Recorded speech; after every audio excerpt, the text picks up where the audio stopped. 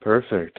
All right. So again, welcome to the you know free online study group for the MCAT. This is basically going to be a weekly thing.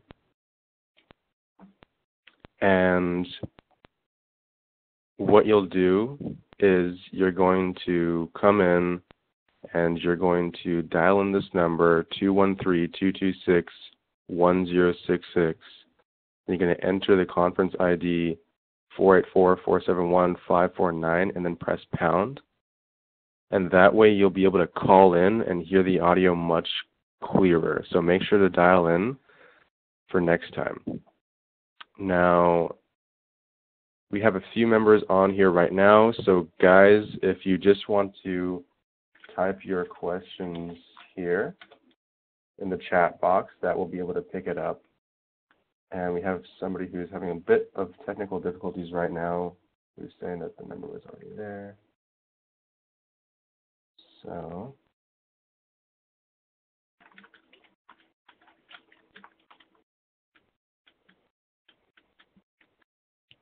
Okay. So the structure of this webinar is basically going to be as follows. I'm going to try to go over briefly, uh, you know, the. One second, I got another question. You have to use your cell phone just like any other call. There we go.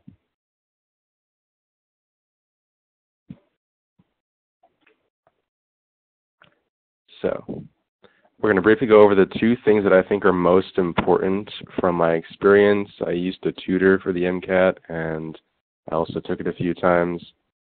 And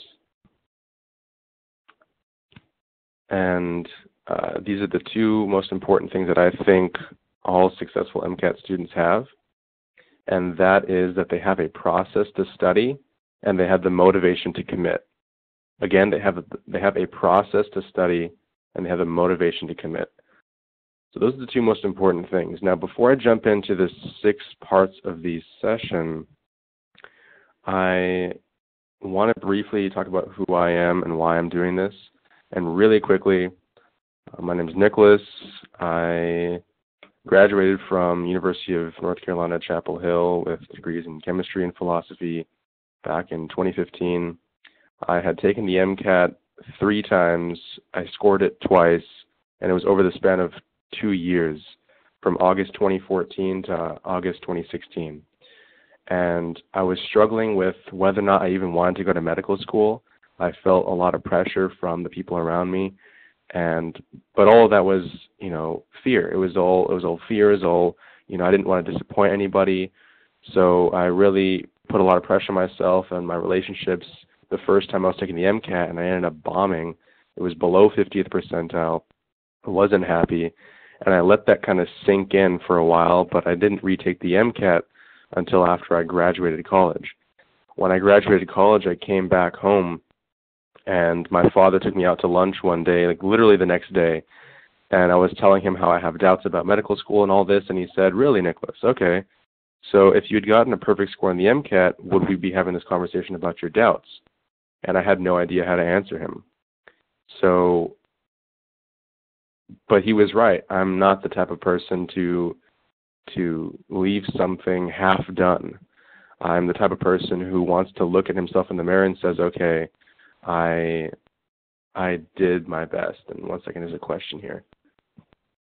I'm logged in to join me. Well, we'll try to the call and do I use the call feature within the Join Me app or separately via laptop?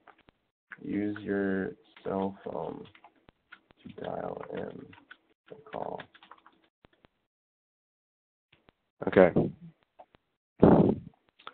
So yeah, so then I so then I studied, and what I was doing is I was working full time as an analytical chemist because that's what my degree was in, and it was the easiest way to find a job.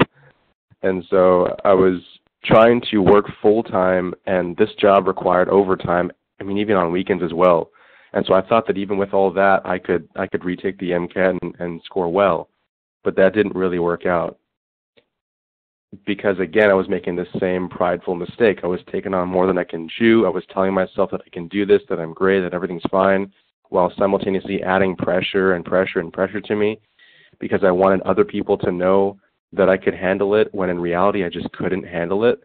And so the second time I didn't score it because I knew I didn't do well. So I avoided the exam. But this time, when I finished that exam, I was like, no, I need to change everything now. So I changed everything I could. I locked myself in a room and I just used as much reason as I could to come up with something that's honest and organic and that motivates me to want to study.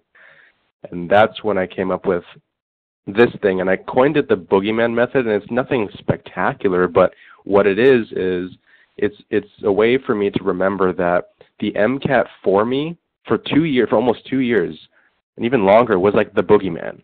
It was terrifying to me. It was something that I I didn't know what it was. I couldn't crack it. I felt like people were like more like like you know uh, uh brave than me. They had somehow figured something out that I hadn't, but that didn't really coincide with who I thought I was.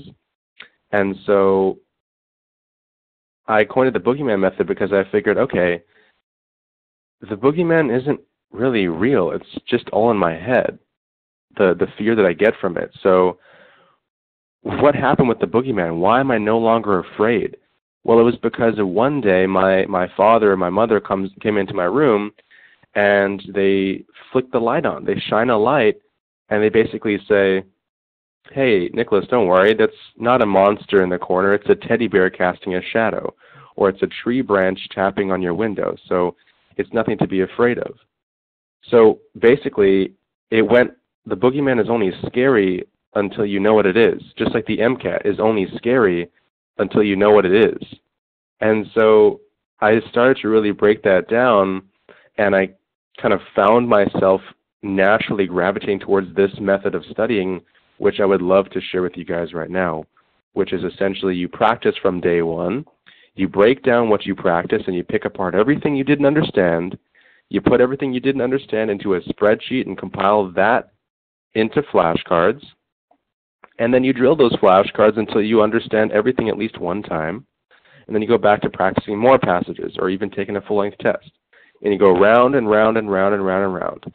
Now, at first, it took me over a week to get through this once, and then it took me, you know, upwards of you know two, three days to keep going through this and churning this method out.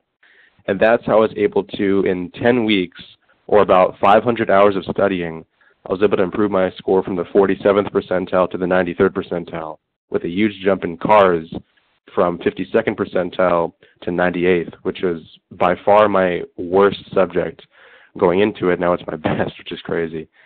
So that's essentially the, the method. Now let me go ahead and quickly answer this guy's question. He says, I'm logged into this via my phone. There's an option in the app to make a call. Do I leave the app and use my phone? Um, I would make a call from there. It. But don't worry, you will all get the recording. okay. So let's check the participant list real quick. All right, great.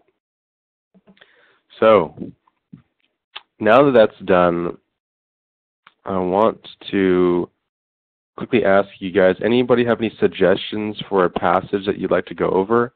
I got a lot of requests for cars because I did pretty well on it, but any suggestions for a passage that you guys would like to crack open right now?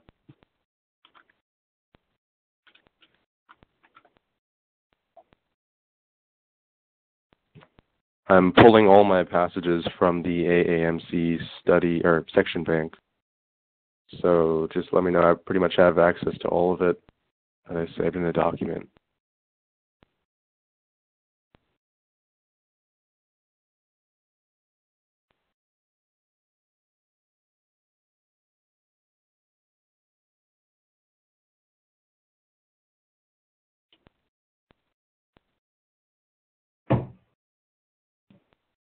Oh, I heard a noise.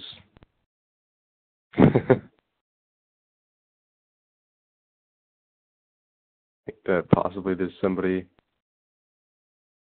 who has their mic working, just uh, not talking, which is okay.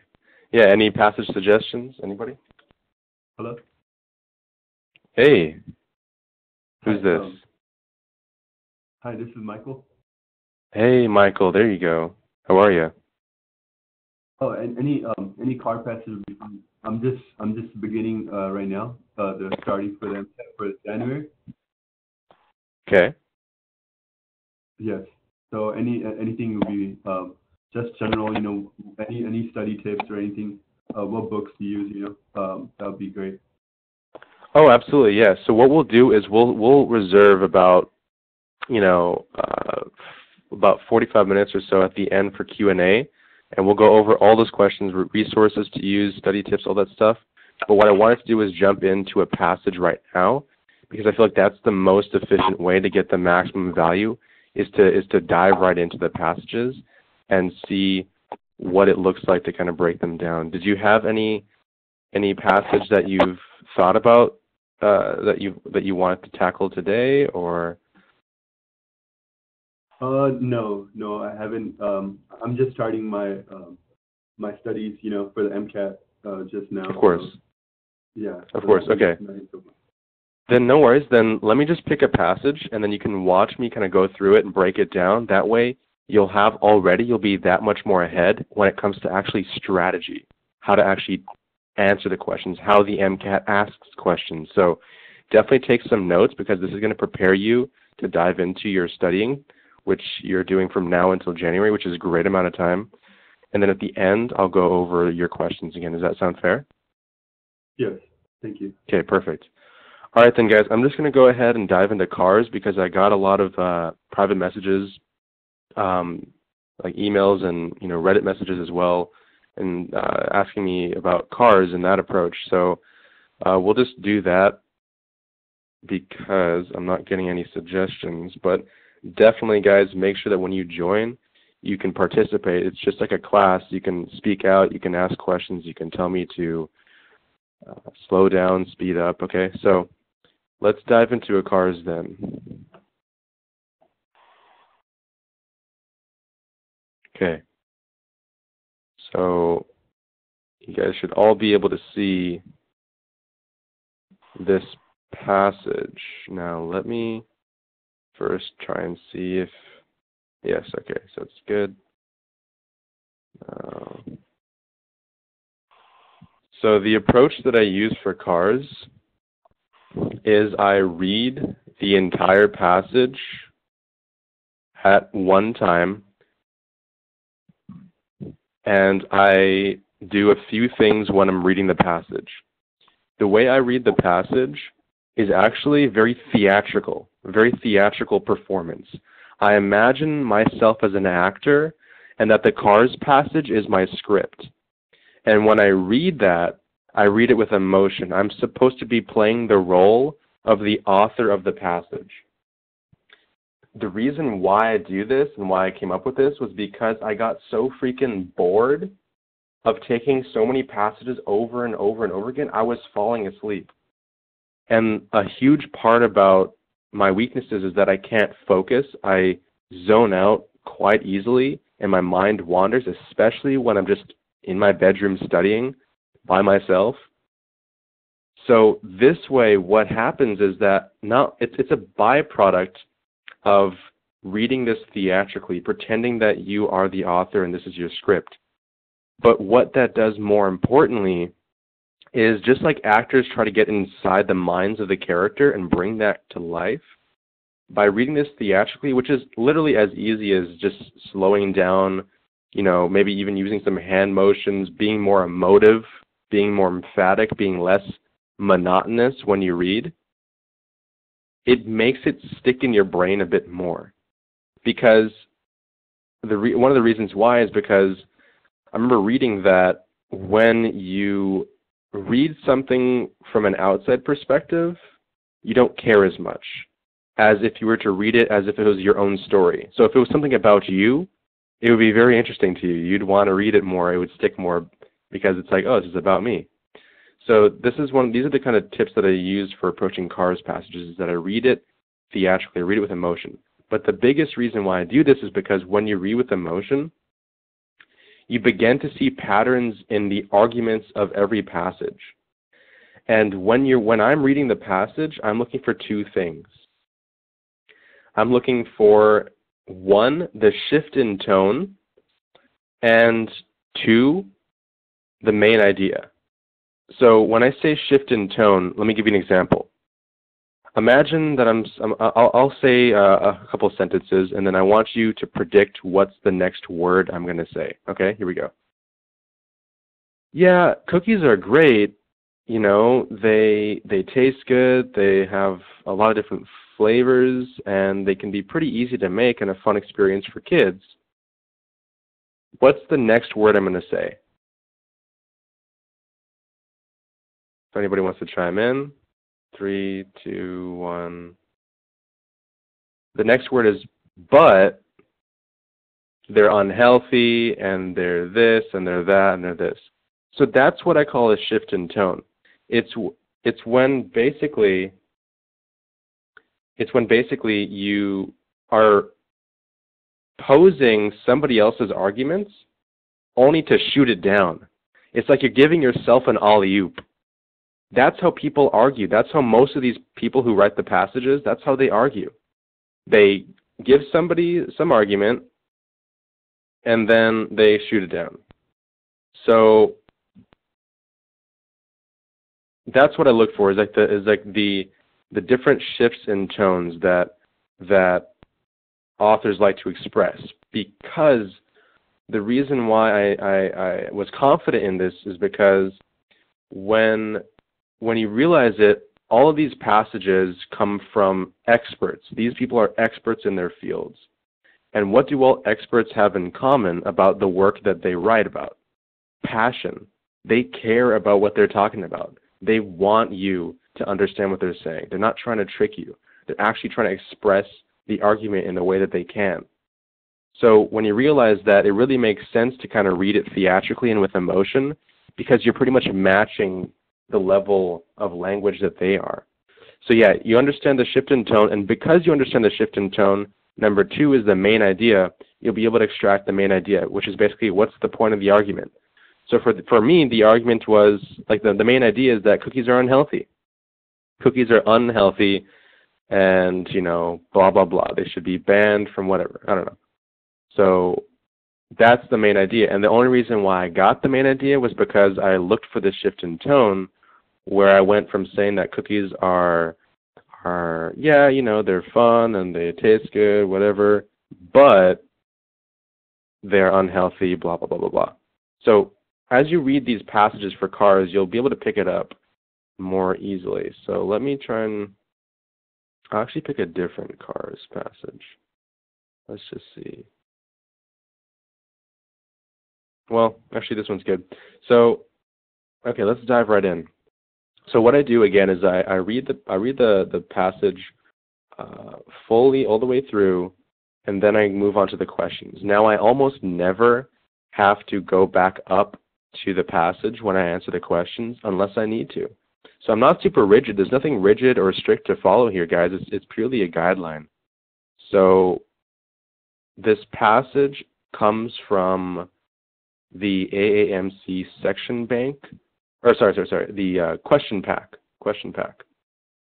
AAMC question pack, and it's passage 15. Yep. Okay, good. So essentially, essentially, what I was to what I was going to say is that yeah. So I read the whole passage at one time, and then I approach the questions. Now I can go back up to the questions if I feel like I need to, or if I don't have to, I won't. But generally speaking, when I was training for this, I tried to basically fit the reading and the answering of the passage to 10 minutes because there's nine passages, about 90 minute section, so 10 minutes per passage was my goal.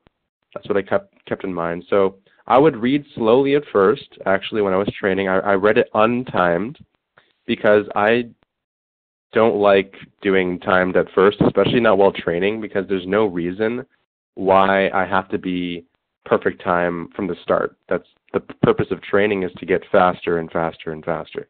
So I didn't do it timed. I actually made sure to follow the strategy 100% and then my speed came as I practiced. It was just a byproduct of practicing a lot. So I never actually work, focused on time until like the last half of my studying. Once I felt comfortable with the strategy and my habits were ingrained very strongly. So okay, so let's read the the full passage. Um, I would inevitably like to read it all in our heads, but I suppose for this, because we don't have too many people on the webinar, I'll just go ahead and read it the way I would normally read it. Um, so bear in mind that when you're taking the MCAT, you can't read out loud, but you can still mouth things and you can still move your hands a little bit. So I do do that, and I actually follow the, the, the screen with my finger. I point on the screen and I read like that whenever I take the test. Okay, so let's read the title first. It says about looking, which I have no idea what that means, so that doesn't really help me. And so I'll scroll back up here. And what I like to do is I like to close my eyes for like two seconds, take a deep breath. Okay. The relationship of the professional artist to the class that ruled or aspired to rule was complicated, various, and should not be simplified. The artist's training, however, there's a shift in tone, and it was training which made the artist a professional, taught the artist a set of conventional skills. That is to say, the artist became skilled in using a set of conventions of composition, drawing, blah, blah, blah, blah. And these conventions corresponded so closely to the social experience, or anyway, to the social manners, of the class the artist was serving, that they were not even seen as conventions, but were thought of as the only way of recording and preserving eternal truths. Okay, so that's basically saying that you have the artist and you have the class that rules over them, the people that they serve. And the conventions that they trained in taught them a lot of these awesome skills perspective, anatomy, all these different things.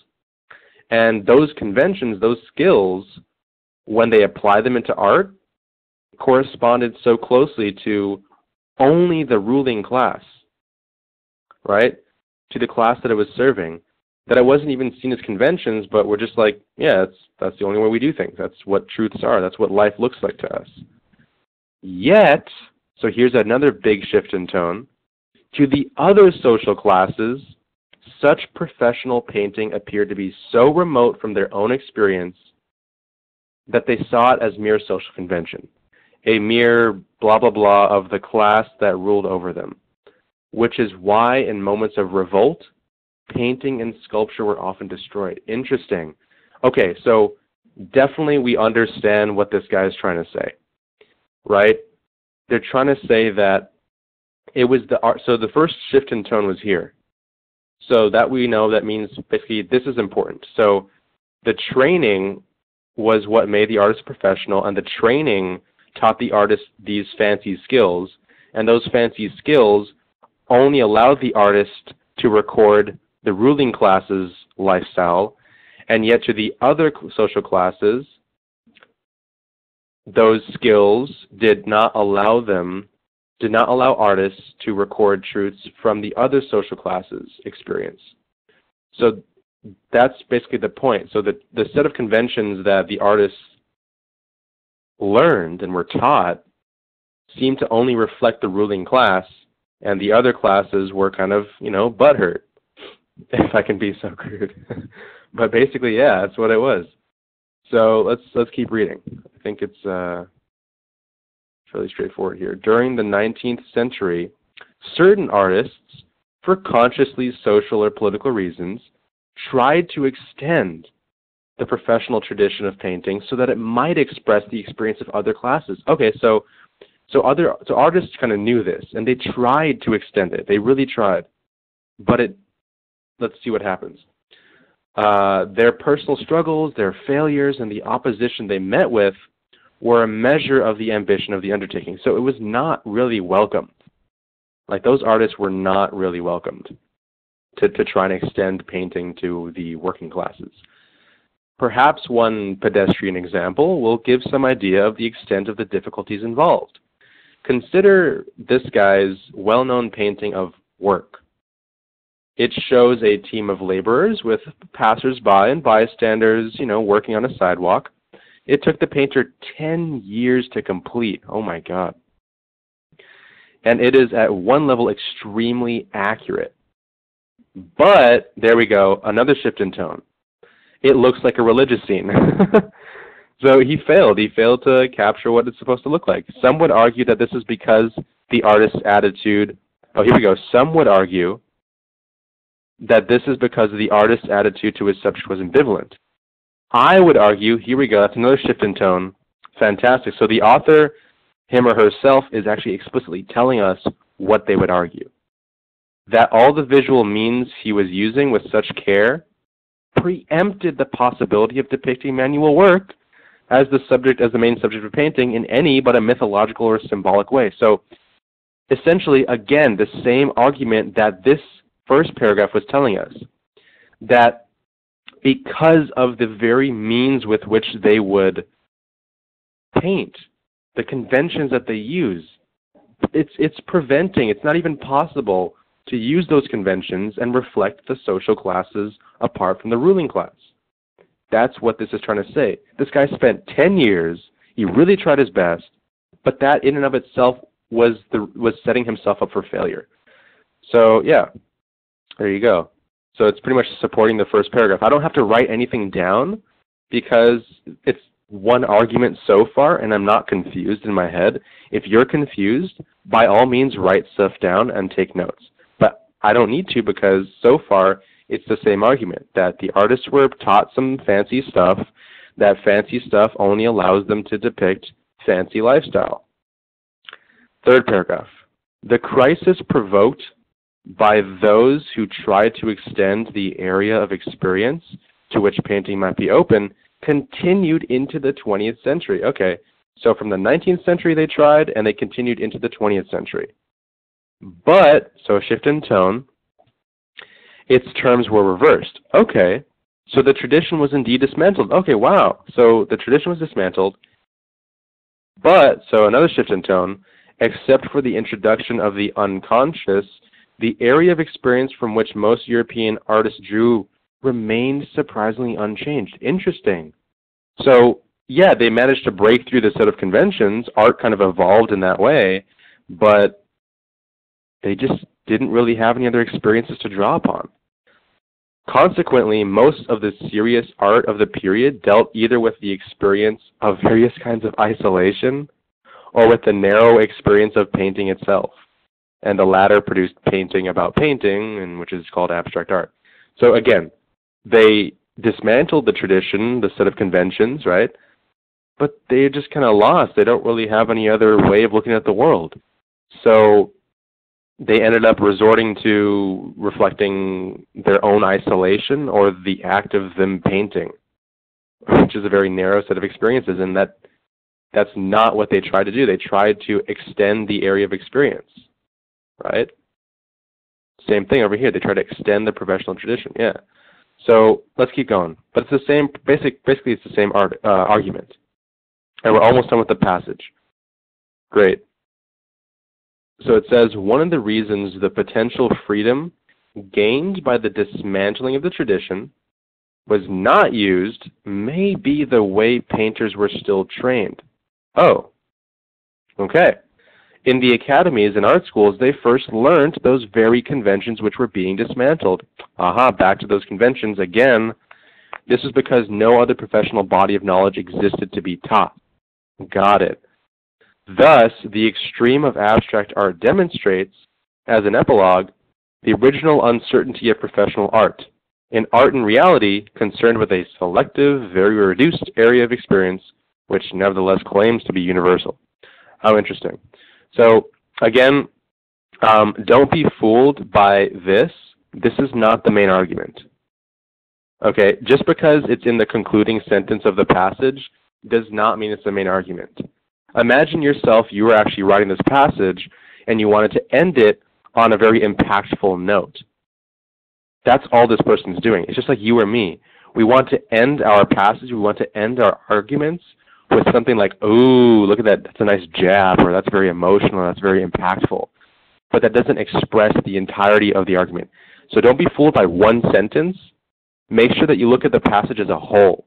Do not miss the forest for the trees, because otherwise, um, you won't have a lot of support to answer questions with, which I'll go into a little bit in a little bit detail in a few minutes. So the main idea of this passage is again that there's some conventions that these artists were taught with. Those things were very fancy, those conventions were fancy, and the fancy techniques failed to to reflect all the social classes. They could only reflect the fancy classes. So that's the main argument, which is great. So let's look at this. Oh, fantastic. So the main argument of the passage is that, so here's how I approach answering questions. Now imagine that there's four answers here, right? A, B, C, D. That's fantastic. But what if I wanted to make answer choice E? And so I do this in my mind. I make answer choice E. And answer choice E, in my opinion, from my knowledge of the passage, from my understanding of the passage, will be the best answer. Okay? So answer choice E will be the best answer. So I just told you guys what I think the main argument of the passage is. It's again, artists were taught fancy stuff, and so that only allows them to reflect fancy lifestyle. That's the point, right? So what I do from here is this is how I approach uh, answering questions. And it's something that I was misguided at first. Like I was taught process of elimination wrong. I was taught to just look at all four answer choices at one time. And then, okay, A looks wrong, C looks wrong, okay, B versus D. Let's see. Uh, I think yeah, B. Like that. That's that's actually not a very good way of approaching process elimination. It, it's not as good as what I'm about to show you. Now, what I'm about to show you is I came up with it because I was thinking about March Madness, which my alma mater uh, won last year. They won the college basketball tournament, but I was thinking about, I was like, does that mean that they're the best team in all of college basketball? And not necessarily. It just means that of the teams they played in the tournament bracket, they were better than that specific team at that specific time. So I'm like, that's a great way to eliminate things. And so I came here and I thought, instead of looking at all the answers at once and kind of eyeballing and saying, okay, that doesn't look good, let's start here, that one's look, what I started to do was I started to pair two answer choices at a time, and I started to see which one of those two answer choices is stronger than the other. For example, if A is stronger than B, then the answer will never be B. Then I can cross it out. If A is stronger than C, then I can cross out C because it'll never be C. If A is stronger than D, same thing. And you might be thinking to yourself, what's so innovative about that? Well, again, think about your own habits. When I observed my habits of test taking, I found that by doing process of elimination the way that I was taught originally, sometimes I ended up crossing off all four. I was like, none of these answers seem good. You know what I mean? And that left me back with square one. So I was like, I got to go methodically answer by answer so that even if it's not the strongest answer that I think, it's the strongest of the four. That's the point. Just like North Carolina, it might not be the strongest basketball team, period, but of the teams it faces, it is stronger than those teams. So start to approach it that way. See what you think.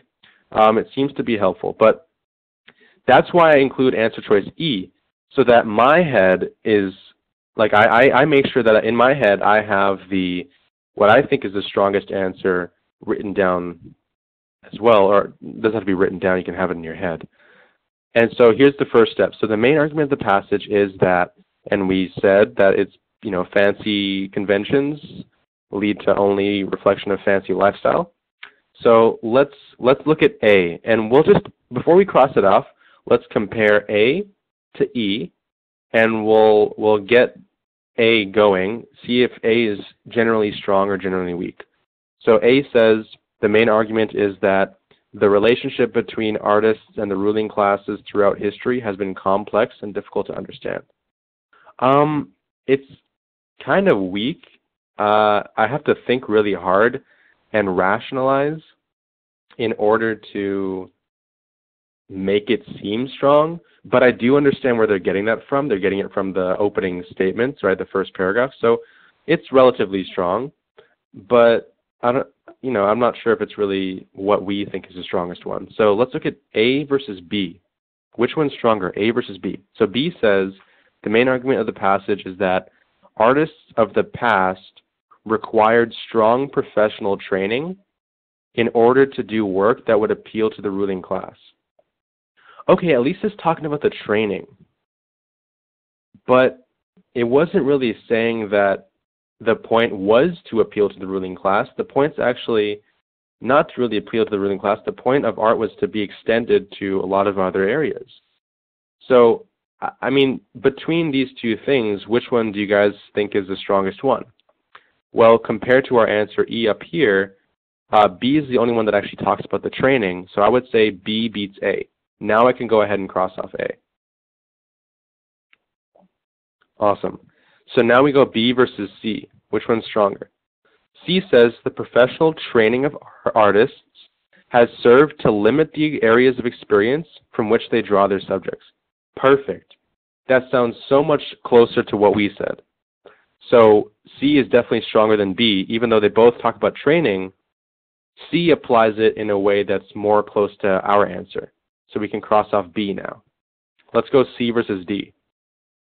The main argument of the passage is that artists who attempt to abandon conventional methods must confront a great deal must confront a great deal of opposition from the ruling class. Ooh, that's not a bad one. That's not a bad one. But remember, which so here's where I'm going to bust out this uh, another tip for you guys. Okay, you can write this one down. So the way that I answer questions is I use the acronym. Let me write it down right here. M S L R. Okay. And MSLR means most support, least rationalization. Okay, most support, least rationalization. So you might be thinking, okay, well, how do I know what's the most support? Literally, whichever has the most support in the passage. If it's talked about more in the passage, it has more support. Well, then how do I know what's least rationalization? This is what rationalization looks like. You're looking at the answer choice, and like for answer choice D, we're reading it, and then we're like, artists who attempt to abandon conventional methods must confront a great deal of opposition from the ruling class. Then we look up, right? We like we like our heads like tilt up and to the left because we're thinking about ways to make that true. Like, oh, I guess yeah, I guess I could see that this is this works there. Yeah, you know what? Maybe it is this. Maybe maybe everything I thought about the passage is wrong, and this this this answer choice is right. That's rationalization. So don't do it. So if, if, if we look towards C versus D, think about how easily we selected C as a strong answer. We were like, oh yeah, definitely, this is exactly what we're saying. And then D comes in, you know, D comes in, and um, we're like, ooh, D sounds good, right? But it's not as strong as C because D, we have to spend more time rationalizing the validity of the answer choice. So because C was very simply the, the way that we understood the passage, the answer is, in fact, C. So the more, the more you, the more you kind of understand this method of approaching questions, the faster you'll be able to churn out. Because what happened to me after 10 weeks of, you know, studying this method and all that stuff, I essentially was able to go through a passage in about five and a half minutes max. And then what would happen is it would take me like maybe like a couple minutes to answer all the questions, which is crazy because of how fast it kind of flowed that way. So, okay, so uh, Dave asked a question that what's tripping him up is just what I went over, trying to rule out one's own biases. Okay, so again, let's let's take a concrete example of C versus D in this case. So our argument, the way we understood it, is written in answer choice E, and that, on our way of understanding the passage, is that fancy stuff that artists were taught only reflects fancy lifestyle. Okay? That's the main argument of the passage that we thought from our understanding. Okay, that's the assumption we're making. Is that fancy stuff that artists were taught only reflects fancy lifestyle. When we read answer choice C, it says the professional training of artists has served to limit the areas of experience from which they draw their subjects. And we all we we immediately we immediately were like, oh yeah, that sounds pretty much exactly like what I say. And then when we come down to answer choice D, we're reading artists who attempt to abandon conventional methods must confront a great deal of opposition from the ruling class. This this is not the same we we don't have the same oh my gosh, yes, that's exactly what I wrote. That's what I'm trying to say, Dave, is that you have to be self-aware about being tripped up by answers that sound good because they do have quite a bit of support. Like answer choice D has quite a bit of support in the passage, but it's not the main idea that you extracted when you first understood the passage. So my point is that don't let one answer completely change the way you interpret the entire passage. Because that's that just screams to me that you didn't take your time with the passage and you didn't understand the shifts in tone, you didn't understand the main idea, and that you don't trust yourself. So when it comes to C, you were like, oh yeah, definitely C sounds like what I think the main argument of the passage is. But then D, it doesn't sound like it. It doesn't. And so what's going to happen is you're going to start rationalizing why D could be the right answer. And the very act of doing that will tell me almost nine times out of ten that it's going to be the wrong selection. And this is an area where so many people, myself included, would trip themselves up. They select an answer that seems simple. Yeah, let me see. But isn't there some sort of subjectivity in reading? I can read a passage and come to different conclusions that someone else reads the very same passage. I understand, but that again is not good practice when you're studying and training for the exam. So if you were to read through the entire passage, write down what you think the main idea is, you went through the passage, and I hope you were able to see how I went through it. And basically, I circled through every shift in tone. And after every passage, I would basically go over what the main idea was. And after the first paragraph, the main idea was that the training limits the experience. After the second passage, they give an example of how difficult it was. But then again, at the end, the reason why it's difficult is because the training uh, is because the training um, limits the way they can uh, reflect experience. So although answer choice D says that yeah they must they must abandon conventional methods or so they, they must confront a great deal of opposition that's not the main idea because again it doesn't have the most support and if you even think about an argument in general dave if you think about the structure of argument the structure of arguments is to take an observation which is basically what d is and ask the question why? Why is it that they confronted a great deal? Why is it that you know ford madox brown uh, failed to reflect the social classes that he was trying to? Why is it that artists in the 20th century um, even started dismantling the tradition, yet still failed to extend the social experience?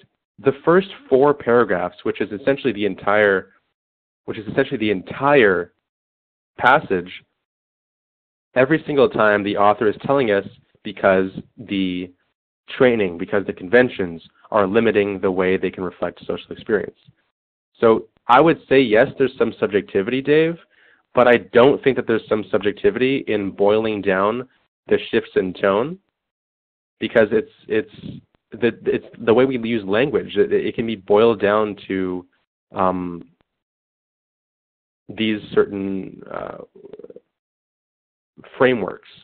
You will start to see patterns in arguments the more you practice. And I'm telling you that the more that you, you, you think about finding the shift in tone, the more you'll be keen in understanding what somebody's actually trying to argue. What is the side that the author is actually trying to take? And once you go through the passage, you'll realize that answer choice C has the most support, and you're using the least rationalization to think about it. So I wouldn't confuse yourself with the subjectivity of, of interpretation because that's actually what we want to avoid. That doesn't help us solve anything to focus on the subjectivity. What helps us solve things is focusing on a framework and a pattern with which authors, even you and me, like we're all we all argue things in certain ways. But there are certain ways that we argue. It's it's it's certain rhetoric that we use. We use things like but or however or I think or I would argue, and all these different words and phrases you will start to pick up when you read the Cars passages. And it will start to very, very vividly paint the picture of what the heck this author's trying to tell you. Does that make sense?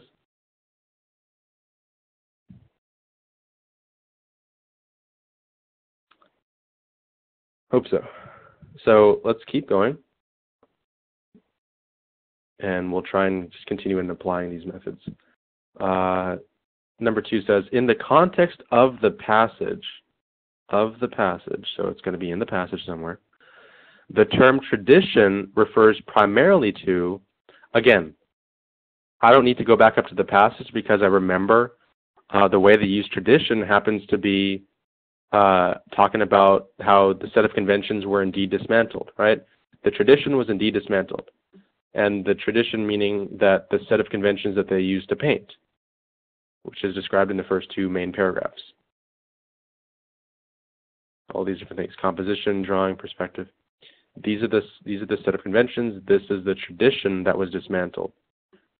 And so that's what we're going to say is answer choice E is we're going to say that tradition, the answer refers to set of conventions that they used. Okay, let's look at A, and we'll see whether or not it's strong compared to E. A says tradition refers to the best way to record and preserve eternal artistic truths. Um, I wouldn't say the best way. That's where I'm kind of thinking that's kind of a weak answer because it that's not I mean compared to our understanding of of the question. So I would say it's weak, but before we cross it off, let's compare it to B. B says tradition refers primarily to the set of artistic conventions, bingo, that correspond to the social manners of a ruling elite. Absolutely. That sounds almost exactly like our understanding of the passage in the question. So I would say that B is stronger than A, so now I can cross off A. Let's look B versus C. Tradition refers primarily to the system of applying mythological, what the heck, or symbolic. Okay, that was like barely mentioned in the passage. So again, I'm using most support, least rationalization to pick out the right answers here. So again, C is, it, this is the beauty of it about comparing it to B. So compared to B, which one's stronger, B or C?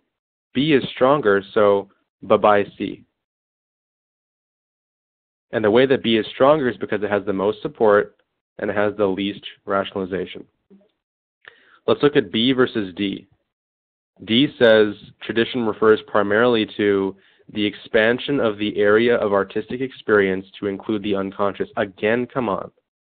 Come on. That's like a, a very, very small anecdote that does not have very much support and it requires a lot of rationalization to become the strongest answer between B and D. So B definitely beats D, and so B is the right answer in that case. Next question. The passage implies that art is at its best when it, well, that, what is, let, let's take the implications of the art author. So whenever you have the passage implies in, in your question, this is where you're going to have to put on your thinking cap and you're going to have to take the main argument, which is that fancy uh, training, uh, uh, fancy uh, art conventions only reflect fancy people's lifestyles. And you have to ask yourself, okay, so what? What's the point of arguing that? What is the implication? That's what this question is trying to ask you. So what does it mean? What is the author trying to say by by arguing that, you know, um, the set of conventions that the artists train in serve to limit the experience that which they can draw upon? Well, they're trying to say that art is at its best when it somehow finds a way to break through those those conventions, when it finds a way to actually be universal, when it finds a way to actually reflect the other social classes other than the ruling class.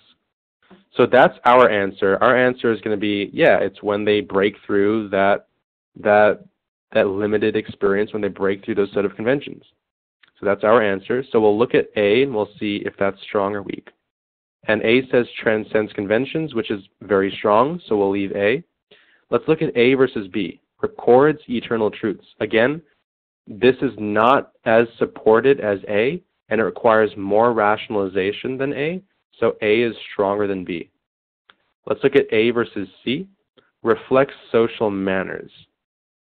Interesting. Okay, so this is where I kind of use something that I call the umbrella. So in in arguments, when when when P, when when AMC gives you answer choices like this, that pretty much touch on the same same uh, same points. For example, art is at its best when it transcends conventions, and because it transcends conventions, it will reflect other social manners. So that's the umbrella. So when you're looking between two answer choices that sound pretty supported and sound pretty good, you have to think about, well, like what comes first? It's like it's like it's like the square and the rectangle, right? Like um, a square is a rectangle, but a rectangle is not necessarily a square, right? It's the same thing. Art can reflect social manners, but not necessarily transcend conventions. But if, it's, but if it transcends conventions, it will definitely reflect social manners. So in that case, that's what I'm using to determine the, the stronger implication between A and C. So A beats C in that regard. I hope that makes sense. So think about the square and the rectangle. Okay, so then A versus D. Art is at its best when it treats religious themes. Nope, definitely not. Stronger than A, so A is the right answer there. Fantastic. I think we got like one or two more questions. Uh, yeah, two more questions here, guys. Almost done. According to the passage, why did past artistic conventions most likely correspond so closely to the social manners of the ruling class? Well, the way I would answer this question, let's see. So, according to the passage, so that means that we have to go to the passage to get the answer. Like like the, the, the answer to the question is somewhere in the passage.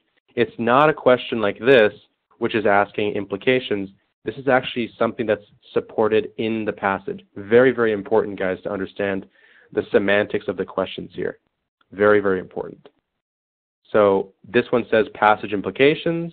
This one says according to the passage. So somewhere in the passage, it tells us why the past artistic conventions most likely corresponded so closely to the social manners of the ruling class. Now, if you remember, the way that they, the where they said that was in the first paragraph. So the artist's training, however, and was training which made the artist professional, taught the artist a set of conventional skills, and these conventions corresponded so closely to the social experience, or, or anyway to the social manners of the class the artist was serving. There we go. That's the answer right there. So that's most likely why those set of conventions corresponded so closely, because the things that they were taught were used to uh, reflect the art of some people that they were working for. That's most likely why the set of conventions only reflected the ruling class, because the ruling class ruled over them. They were the ones that were uh, basically um, the artists were serving them. So that's our answer: is that because the artists were working for them, then most likely that's why the conventions they were taught reflected those ruling class. So let's look at A versus E and see if A is strong or weak.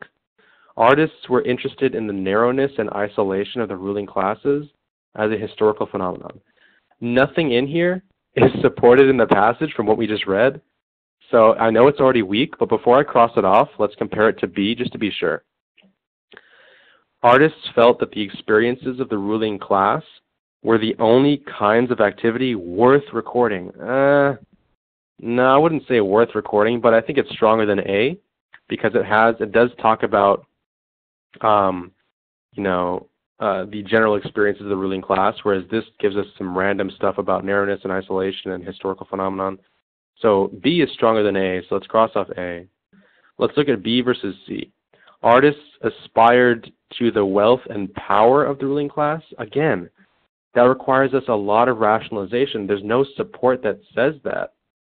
I mean, there's no support that says this either, but between B and C, I mean, I mean, it's honestly like pick and choose because they're both pretty weak, right? But let's look at it. So artists felt that the experience of the ruling class were the only kinds of activity worth recording. No, that's that's definitely not true because the rest of the passage was talking about how 19th and 20th century artists were trying to extend. So let's cross off B because C is more plausible than B. So let's look at C versus D. Artists looked to the members of the ruling class for financial support. Yeah, absolutely. That's that's what happened. They were serving them. So there you go. That's exactly what we're saying basically as well. So this require this has the most support and it has the least rationalization again. So D beats C, so D is the correct answer. Yeah, even though it sounds like such a simple and stupid answer, this is the trap that I used to fall into where I would try and predict what the AAMC would like like what the type of answer like sounded smart. Like, you know what I mean? Like I would try and pick the answer that I thought, oh, you know what?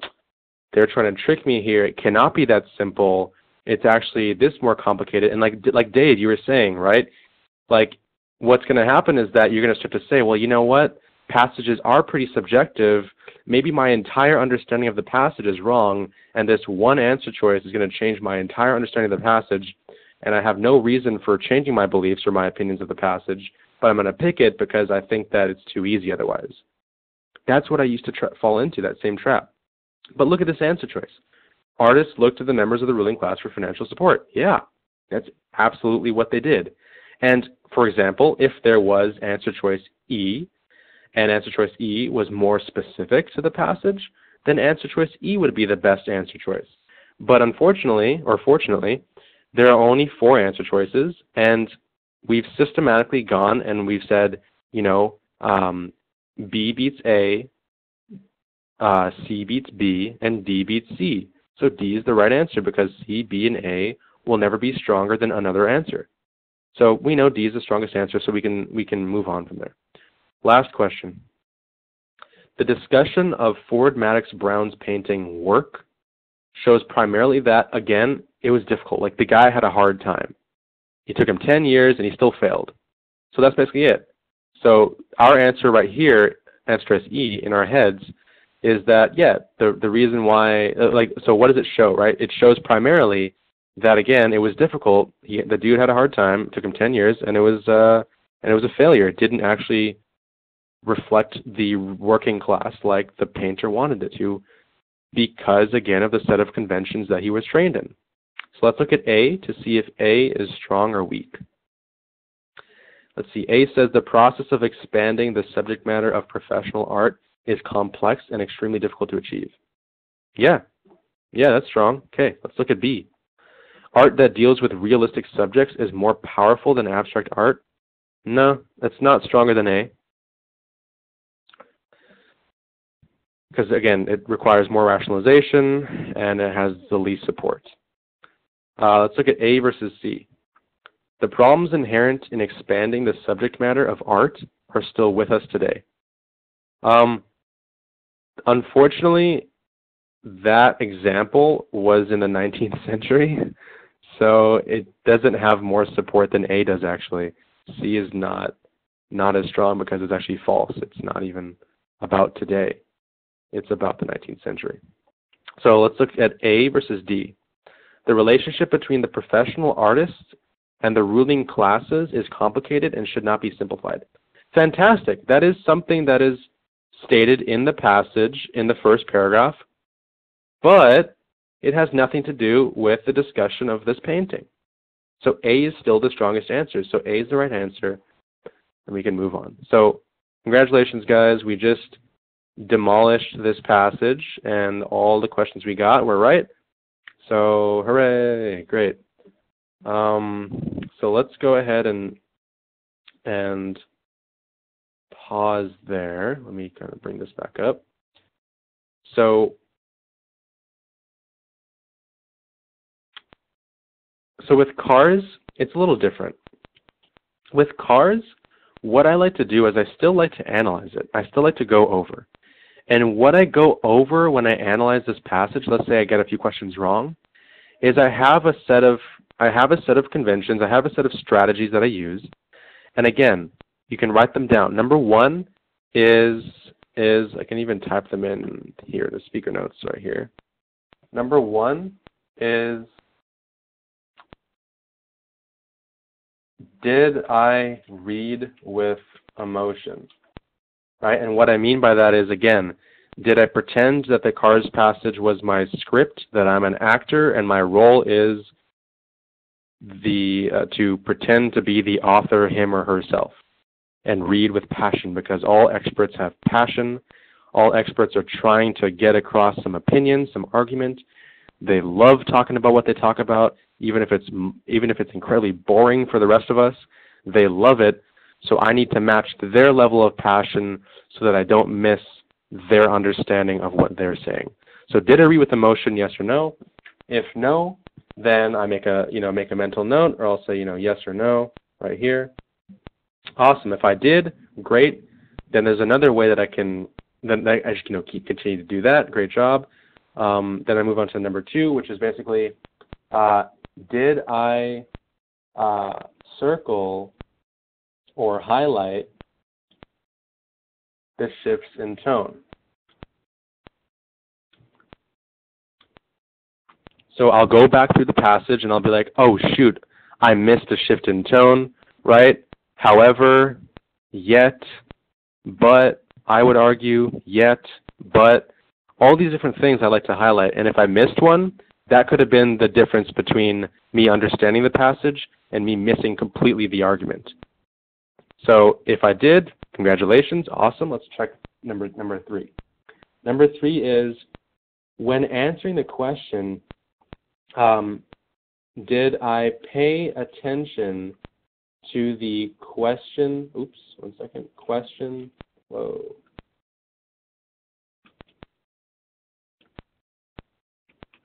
Did I pay attention to the question stem?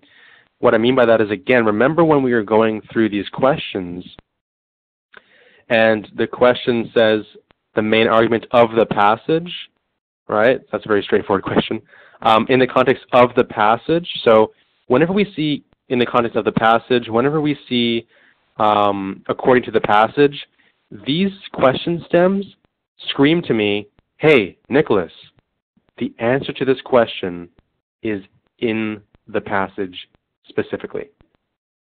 So that's what I mean when I say, did I pay attention to the question stem? Because again, if it says, like number uh, question 88 says the passage implies there we go. That's a different question stem. Now I know that the that the uh, the the answer not necessarily will be directly stated in the passage. It's going to be I have to take the main idea and I have to ask the question so what and extrapolate it and uh, et cetera, et cetera. So did I pay attention to the question stems? Very important. If I did, which we did, awesome. Let's try number four. Uh, did I did I use bracketing to answer, oh sorry, to eliminate answer choices?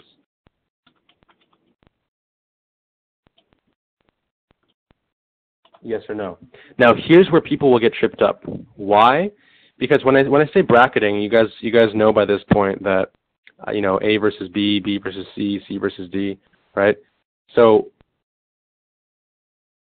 when you go back over this passage, when you do it by yourself and you go back over it, you might find that you didn't do it. Why?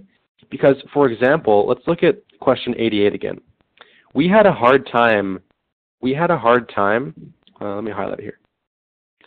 We had a hard time picking between C and A. And so essentially, the reason why I was able to explain why A is a stronger answer is because I broke down what arguments sound like, and to me, I used the whole, you know, uh, square versus rectangle, right? I said a square is a rectangle, but a rectangle is not necessarily a square. Same thing. So when I'm comparing two really difficult answer choices, I go to this strategy, and it helps me out because I'm like, okay, art is at its best when it transcends convention. So, so when art transcends conventions, it also reflects social manners. But when art reflects social manners, that doesn't necessarily mean that it transcends conventions. Right? So that's how I'm able to kind of um, bust through that plateau of getting stuck here when I'm bracketing. Because like when it's between A and C, and I can't pick, I cannot pick which one's stronger, then I need then I know that that's an area for growth. Because what would happen that when you're taking the test is that you go to A, you easily cross off A versus B, you easily cross off B. A versus C, you're like, oh my gosh, I have no idea. Let's leave both.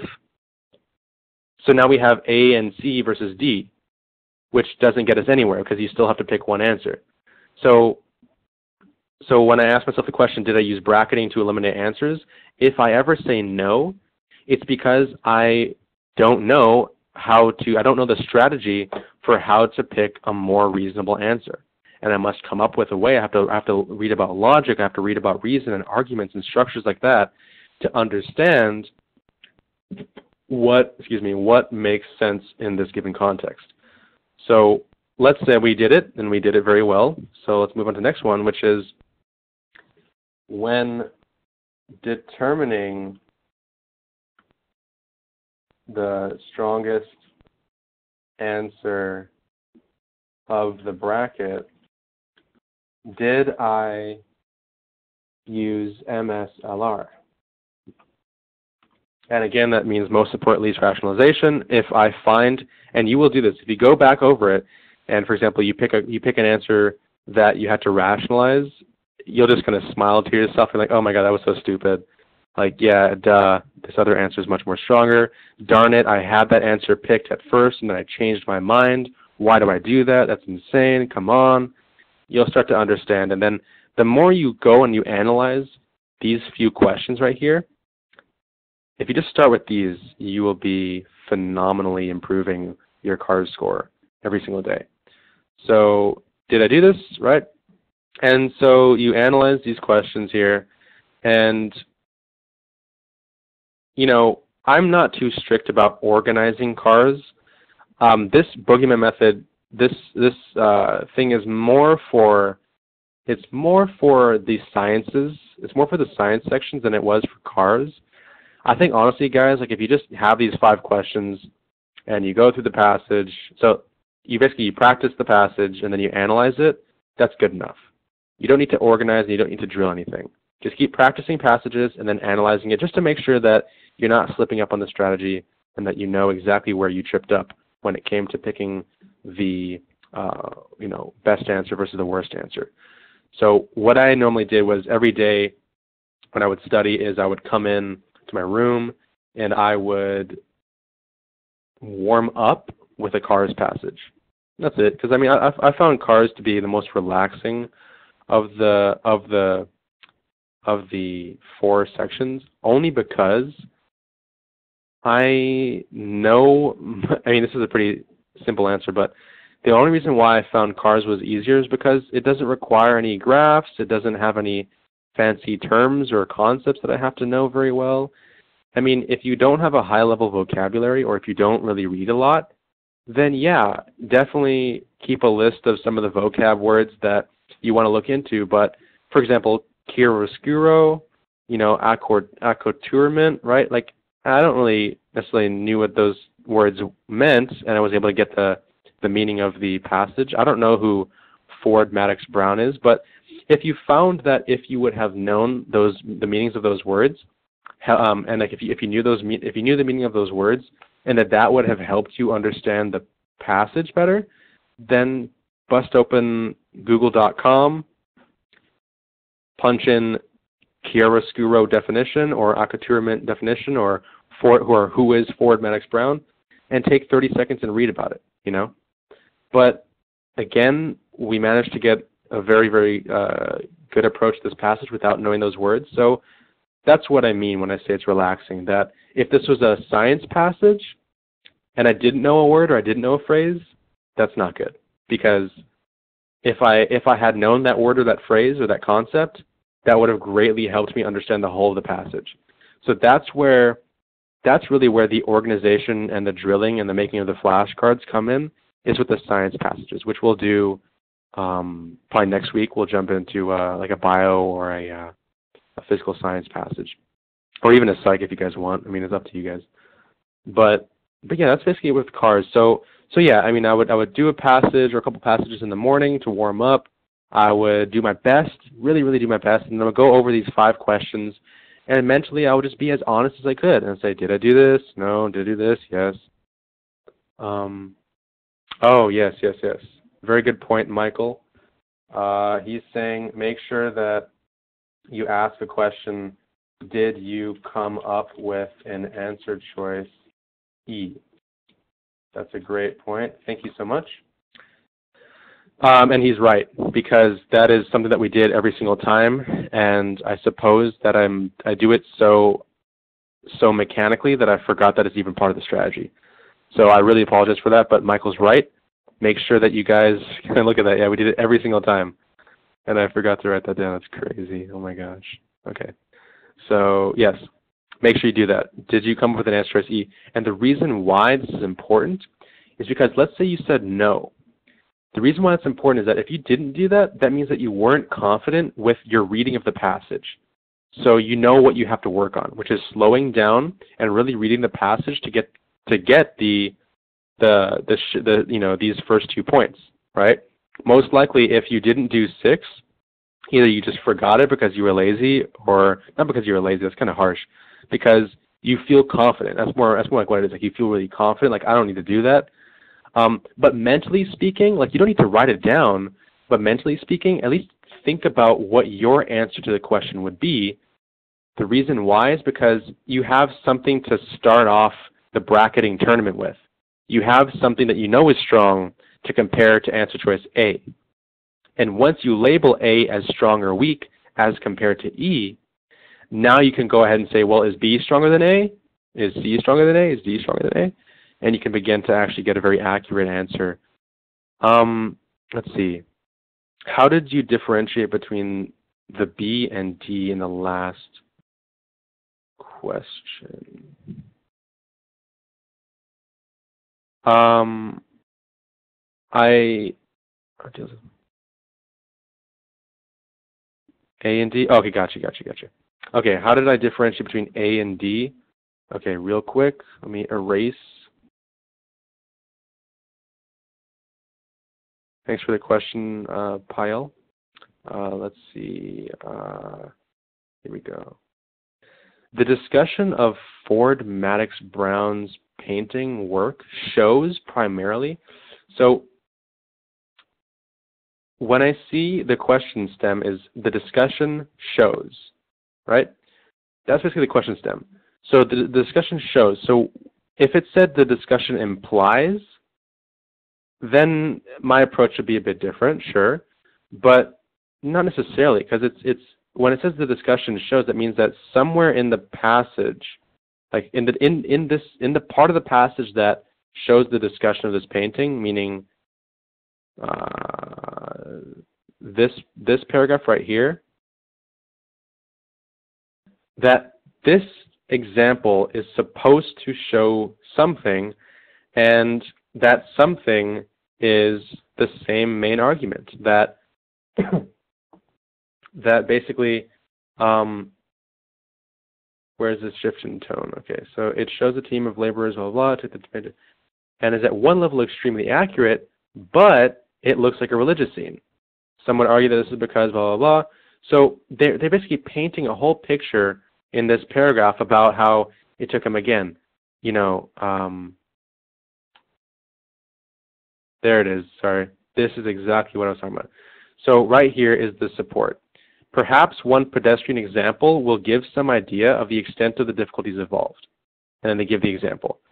So that's, that's how I understood what this example was for, um, because the author pretty much tells us, here's, what the, here's an example of the extent of the difficulties involved, and then they give an example.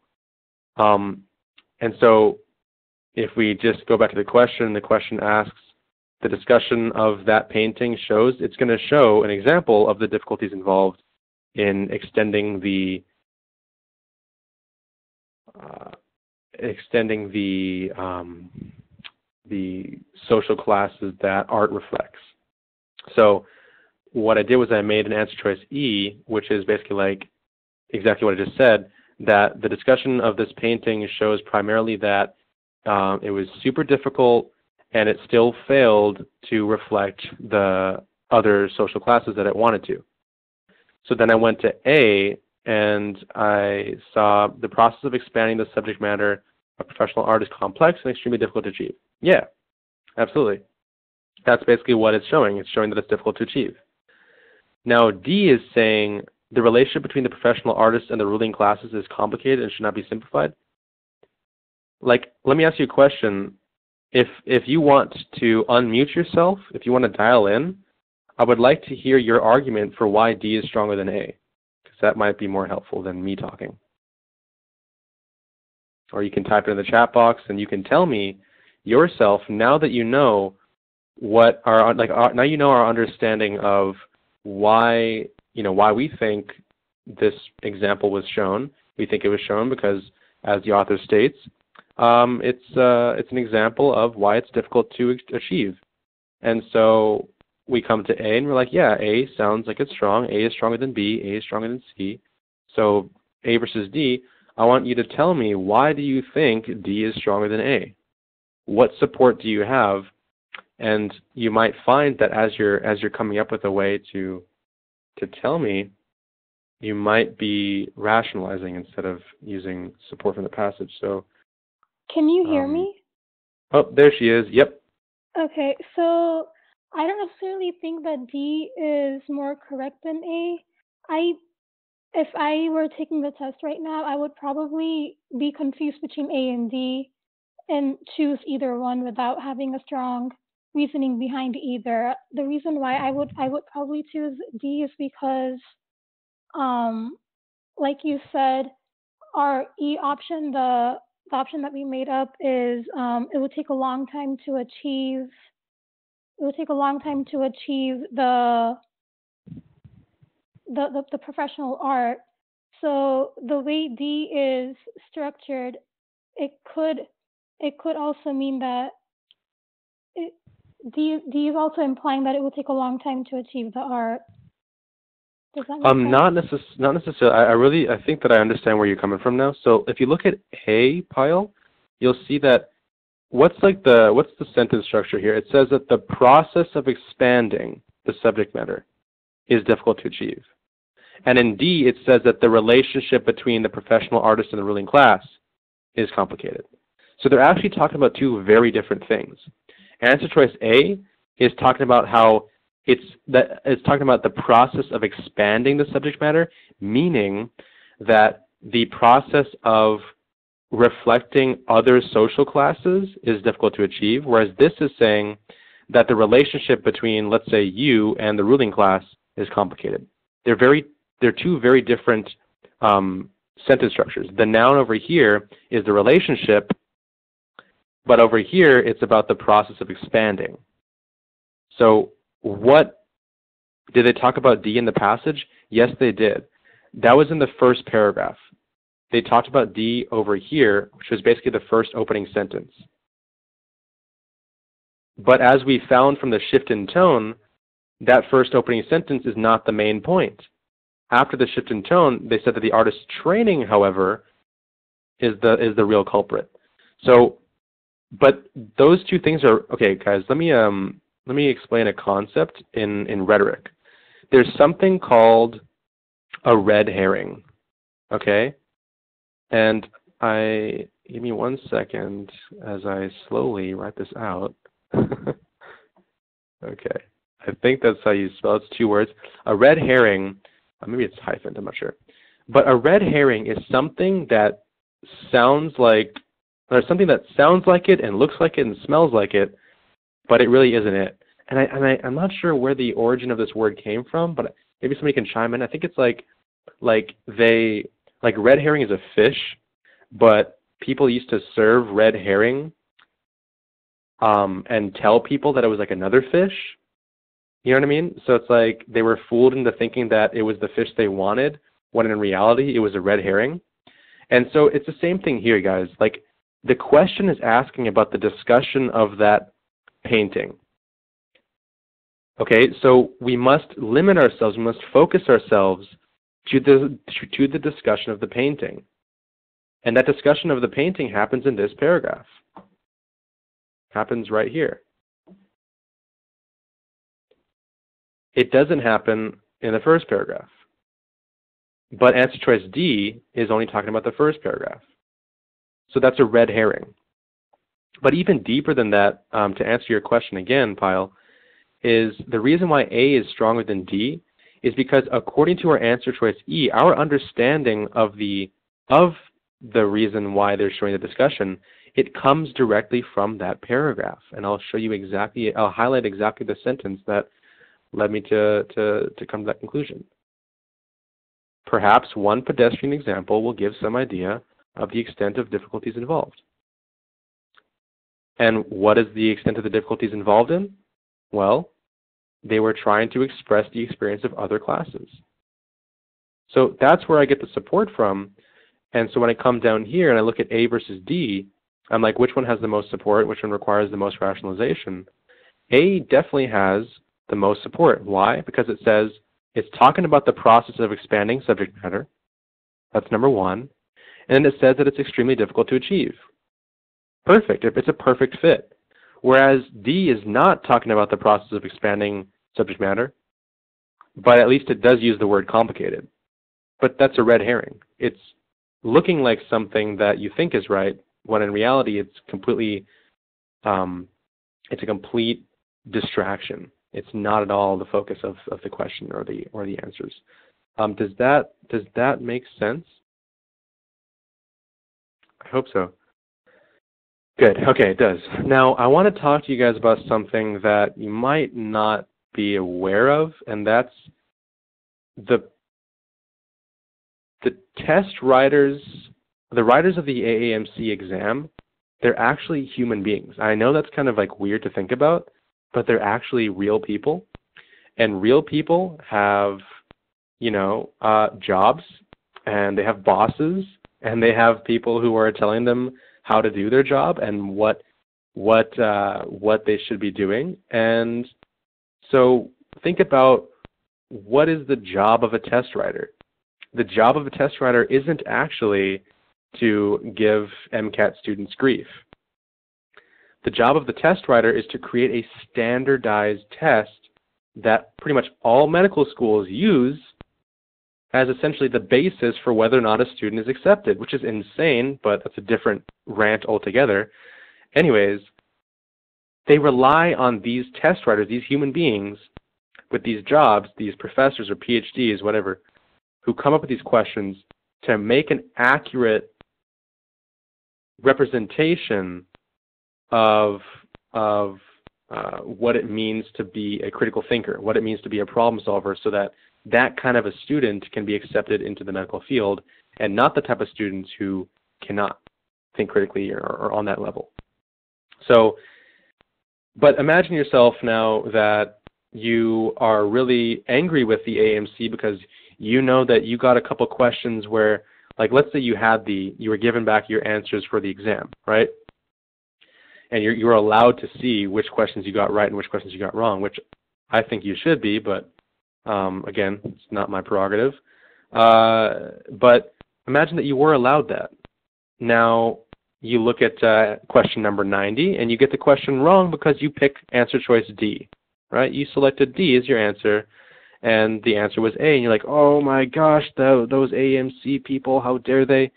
Well, imagine you had the capacity to sue these people because you know uh, whatever you know they this this this one question or whatever caused your score to be low enough, and that's the reason why you know um, and that's the reason why you didn't get into medical school or whatever it is, right? In a court of law, answer choice is going to hold up much better than uh, answer choice A is going to hold up much better than answer choice D. So start to think about it that way. Whenever I say most important least rationalization, imagine that the AAMC, they don't want to make answer choices ambiguous, as weird as that sounds. In fact, test prep companies, when you take you know, Kaplan or Princeton Review or Next Step, these types of practice tests, they're businesses.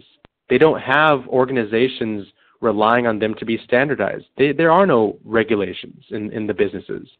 So they can make answer choices ambiguous. They can make it more difficult or less difficult or whatever. But the AAMC actually does a fantastic job of making answer choices when you break it down like I am. Oh, yeah, it makes sense. Answer choice is A. Oops. You know what I mean? Like, so take a deep breath and like find comfort in that. Find comfort in the fact that the AMC, the actual real deal, excuse me, the real deal, um, you know, the real MCAT, the practice material like you guys are going through right now. This is from the question packs. Like all of these questions and answer choices, you pretty much won't find an answer that that doesn't that isn't correct that doesn't have the most support least rationalization. Like if the answer choice is correct, it's because of this. Um, now, yeah, so that's what I wanted to say to you guys is that basically remember that the AAMC actually doesn't want to make this super scary. They don't want to make this super ambiguous. They don't want any of these things because they have bosses and they have people relying on them to make sure this stuff is clear. So I hope that gives you guys some sort of um, something to ponder. Okay. Um, yeah. So let's see. Um, Q and A session. Yeah. Uh, any other questions, guys? We have you know, 15, 20 minutes or so. Um, oh yeah, Michael, you had. I know you had questions. I'll I'll answer yours first about the resources that I use. Now let me show you real quick. I'm working on a massive blog post, which is basically like I, I wrote it down like the, the only blog post you ever need, but it's like really, really big. And so uh, just bear with me. I'm to try and go through it. And I, I have the list of resources here. One second, one second. Okay, I think it's here. It should be here. Oh, there it is. Cool. So what resources do I use to practice passages? Um, uh, here's a link of, or here's a list of links to free content review and paid passages and full-length practice exams that I recommend. Um, Michael, you can just uh, shoot me an email and I'll respond. I'll copy and paste this, or you can write it down right now. But basically, guys, this might be crazy, but I don't use test prep books. I think that they're a waste of money. That's just my opinion. I think that the classes are a waste of money. I think that $2,000 is um, exploitative and manipulative of those companies to do that. I think that I could go off on a huge rant about how much I vehemently disagree with Kaplan and Princeton Review and all those guys, and this is actually why I'm starting what I'm starting right now with my own thing. Um, but I feel like content, information, knowledge, strategy, I feel like it should be free, in my opinion now the organizations and like maybe like you know maybe this study group becomes private as we go on but for right now it's free um, uh, but you know i think that practice tests yeah definitely pay for those guys save your money and buy as many questions as you can get your hands on so what i would recommend is that for content you use your boy google google is the best thing that i go to number one thing that i go to to answer questions is google.com um, and I sift through any page until I understand the concept. Um, then another one I use is AK Lectures. This dude is fantastic at explaining concepts. Um, I believe he's still a med student. I think he's in his residency. I'm not sure. But yeah, aklectures.com, fantastic. Examkrackers, this is a link. Um, it's actually uh, a free resource that some dude put together of all the notes from the Examkrackers books. So There you go.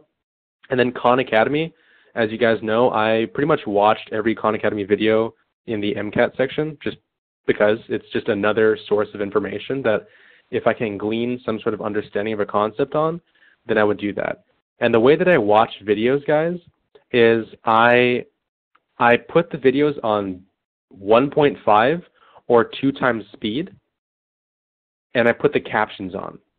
So I have 2x speed, and I have the closed captioning. This way, I can focus and I can be reading it and I can be listening to it and I can be watching it and I'm not wasting time. And if need be, I can literally watch the video twice and get more information than somebody who just watches it on one time speed once with the same amount of time. So that's a bit of a hack that I use that I'm sure it's common, but if you guys don't know about it, definitely watch start watching your videos on 1.5 or 2 times speed depending upon your fluency of English. And then watch it on closed captioning and uh, it'd be good to go. Um, but then when it comes to paying for stuff, pay for the question packs, pay for the section bank. I bought the Next Step uh, 10 pack bundle for I believe like 220 bucks. Um, and you can take each test five times, so that's essentially up to 50 practice exams, which is crazy. Um, but I definitely did all 10 of those. The sample test and then the full lengths one and two from the AAMC. Guys, start here for sure for for paying, and then start here for for for uh, for content review. And then when it comes to like basically being able to get advice of the overall process of studying, you guys have me now. So hopefully that should be a good resource to kind of put them all together. And yeah, so that's what I would say to resources. Hopefully that answers your question. Anything else?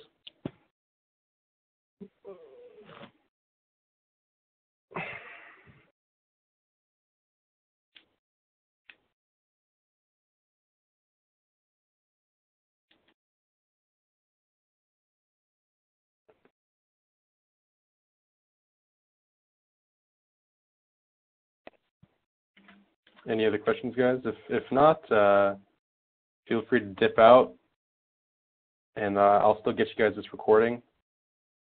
But if so, you know, I'll be here for another 10, 15 minutes, you know, so you can keep asking me as many questions as you as you'd like.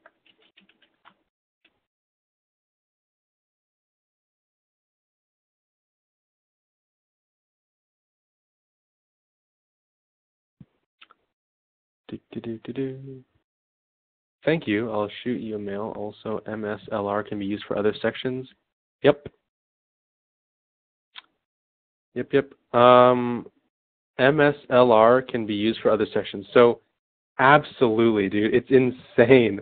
Like I'm telling you, once you kind of get into the habit of looking at the way you answer questions, I'm telling you, like the students that I used to tutor, like there was this one girl who got a 515, which like I almost cried about.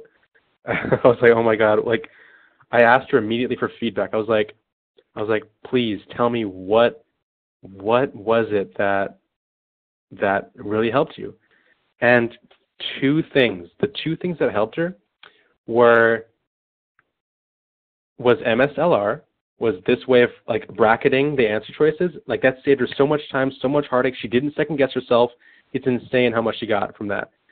And number two was the process of studying that when you analyze a passage, like for the sciences, which we'll go over next week, um, that she said that like getting the concept that there is no high yield out of her mind actually helped her. Now, don't get me wrong, there are high yield pass, um, concepts for sure. That's not what I'm saying. What I'm trying to say is to is that she basically said if she didn't know something, she studied it. Period. She didn't know something, she studied it. That's it. So those two things really helped her out. But yes, MSLR, and she said that MSLR helped her, especially for the bio section. So absolutely, it will definitely help you. Okay, and then Pyle says, how does one-on-one sessions work? Um, again, I would shoot me an email and I'll email you back with what I think about that. I I'm not really like advertising tutoring or anything. It's kind of like not what I'm trying to focus on, but let's have a conversation and if you want to do one-on-one sessions, um, let's set up like a 30-minute phone call, and I can kind of dive into your story and see if see if it's going to be something that would actually benefit you. before we just kind of say, yeah, you know, sign up here. It's this much money and this much money. So um, I'll shoot you an email. Probably let me write that down. I'll shoot you an email, and we'll just set up a phone call. That way we can do it outside of the study group, so it's not too much of a burden for the other guys. So uh, I'll just write down to set a phone call with you. Was it that you're actually? Are you the? Are you the one? I think you're the one that that your brother reached out, right? Because I think yeah, yeah, your brother was on. Yeah, yeah, that's very kind of, and he's in med school as well, right? He's at Baylor. Yep, awesome, awesome. Yeah, he seems like a very nice person. Yeah, I'll absolutely call you. Yeah, no worries. No worries. Um, but any other, yeah, of course. Any other questions regarding the actual like method of studying or the approach to cars, or, I mean, anything that you guys are stressed out about? Anything about motivation? Um, that's actually a good way to kind of close this out, just while you guys think of more questions. I said it at the beginning of this session that from my experience and my observations and my own personal introspection, the two biggest reasons why students become successful is because number one, they have a process to study. They have an actual process. And for me, that process looks like this. And number two, they have the motivation to commit. Oh my God, it's unbelievable how much emotional maturity and emotional intelligence is the difference, right? It's so crazy. Being able to commit, being able to have a reason for why you're even doing this is going to make it interesting enough for you to get up and do it. No one's going to have to tell you to study. No one's going to have to to to, to calm you down. You're going to want to study. Guys, I cannot tell you that those 10 weeks, like when I took the MCAT the third time, the 10 weeks that I spent studying were by far some of the greatest 10 weeks of my life because I learned so much about myself. I was able to grow emotionally. I was able to like I was so like healthy as well. I was like getting up at at a you know I had a routine. I would get up at you know like just before seven. I would go to bed um, by uh, eleven thirty ish. I would go for a walk in the mornings. I would drink a lot of water in the mornings. I wouldn't eat breakfast until you know like eleven or twelve because like that just works for me. You know, I'd go to walk I would walk in the park. I would like, do some like pull-ups and push-ups and stuff at the park, and then I would say hi to the neighbors, and I would come back and I would meditate and I would shower, and I realized that like my whole day, I wasn't so fixated on just the MCAT. Like my life wasn't just the MCAT. The MCAT was a structure that I built the rest of my life around, but all in all, I learned so much about myself and my my ability to commit to something, my ability to get to get a reason for why I do what I do and to just work hard and to find the perspectives that would make me enjoy the process of studying, enjoy learning, enjoy growing as an individual, enjoy becoming the person that's good enough for medical school. That's why I really, really, really appreciate the MCAT in a lot of ways. And people look at me like I'm weird when I say that sometimes, but I'm not lying. Um, so, yeah, that's basically two things the process to study and the motivation to commit. And as you guys are thinking about more questions, I will tell you that when I've talked to students, I've found, and even with my own personal motivation, that that that's the motivation. The motivation is to be good enough for medical school. Like, it's not necessarily because like I want to be a doctor. I want to help people. Saying I want to help people doesn't get me to sit down and study for eight hours a day. I'm sorry. It's not that vivid. It's not that clear. But for me, it's more like I want to be good enough. Like I want to be able to know that I was good enough to get in.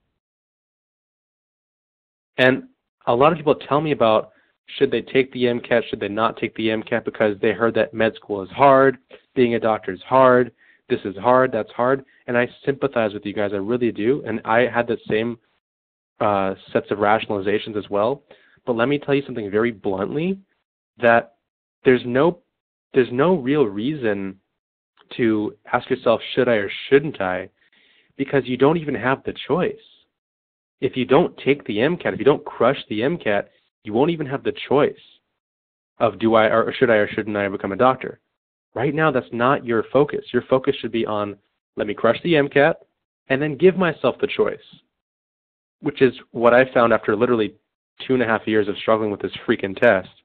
That I was like, okay, I just got to commit because it's not about going to med school. It's not about becoming a doctor. It's about I need to be free from this exam so that I can then have the choice and I can say, you know what, med school, you know what, it's not for me. It's not for me. I'm going to go somewhere else. But at least I know that I would be that, that, that that's an option. That I'd be good enough for that. Or if you get a good score and you say, okay, now I have the option. Yes, I definitely want to go ahead and pursue medical school because I know I'm a right fit. It fits my my lifestyle. It fits my my desires, my values. Let's go let's go ahead and approach it. But neither of those two choices, neither of those two options are going to happen unless you do the MCAT. And this is a sad truth, but I remember reading on Reddit, they the AAMC recently did an Ask Me Anything, and they're talking about how like it's not going to change for a long time, like this is pretty much like the way it is, and like all these different vague, uh, you know, answers. But essentially, guys, like it's kind of true. Like the MCAT's been around for a while, and like I said, it's a standardized test that medical colleges use because when you're in business, when you're in an organization, you have to make decisions.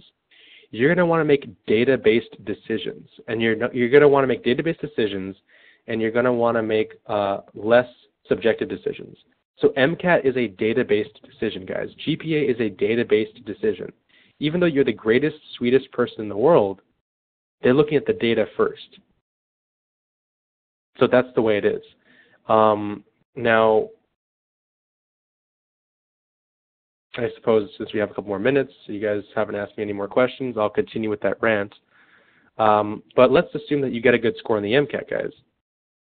I would say, personally speaking, I would say that the next thing, if you're thinking about the, if you think about the mindset of an academic counselor, like the like the, the people who are reading through the exams, you have an MCAT score and a GPA that gets you to the top of the pile, and then now you're sitting, you're being read, right? So again, these counselors are human beings, and human beings have very, very similar biases across the spectrum of biases. Um, now, imagine yourself as a as a person reading the the applications. Now, you're looking at this guy. Okay, great. Yeah, yeah, yeah. You know, Michael's got a uh, uh, got a got a 509 in the MCAT. Fantastic. He's got a 3.6 GPA. All right. Cool. Let's read about his story. Okay, so you're reading about his story, and you're like, okay, you know, he wanted to help people. He's had this experience. He's had that experience. Great. So he sounds like every other student I've ever read in my life. So this is where, after you get through the MCAT, I think that the next and most important, probably the only most important thing is your personal statement is to make the personal statement memorable. And I'm not going to go into how to do that because it's not the focus. You're still on MCAT. But once you guys get to the MCAT, shoot me an email and I'll tell you exactly how to break down and how to tell a story in a way that people remember it. But that's a very important thing that no one teaches students how to do. But from the business side of things, from from the organizational side of things, is probably the one of the most important things is being able to tell a story in a way that gets it to stick, so that when the you know when the you know uh, admissions counselors are reading through all the applications, the one they remember is like, oh yeah, who was that guy that like that like uh, did this and this and this? Oh yeah, yeah, yeah. They're gonna remember you. So we all have those stories. We might be worried about like, okay, do we have those stories? Yes, we all do. It's just about crafting it in a way that sticks. We all have stories as honest as we can be, it's going to be a great story no matter what. So, yeah, guys, when it comes to having a process to study, um, that's the that's actually the easy part. It's the motivation to commit that's the difficult part. So you got to find that for yourselves. These are the different motivations that I had for me and my the people that I worked with and my friends, people who I who also tested. They were like, yeah, pretty much. It's just like being good enough for med school. Like that's the goal. I want to at least know that I'm good enough. It's not about being a doctor or helping people. It's about I want to crush this exam because I know that this exam will be proof, be proof that I'm good enough. So that's that's that's what the job is. Um, okay, that's the end of my rant, and it's pretty much almost noon. So any last questions before I dip out, and I'll see you guys next week. And you guys can always email me. Let me put my email up real quick. My website's up there. There's uh, a bunch of resources that I'm continuing to pile on there. Again, um, it's it's there for you guys. Uh, uh, my email address is there as well, Nicholas at secondchancemcat.com, and you can always feel free to to shoot me an email or go onto my website and fill out the contact form, send me a message from there, or send me a message on Facebook or Reddit or wherever you guys find me. Quora, um, meetup.com. I have a meetup group in Los Angeles, uh, and uh, that's where I'm at right now. And so, yeah, got plenty of ways to, to, to contact me, and hopefully this was helpful. I'll try to get this recording out to you guys soon. Let me pause the recording right here, real quick.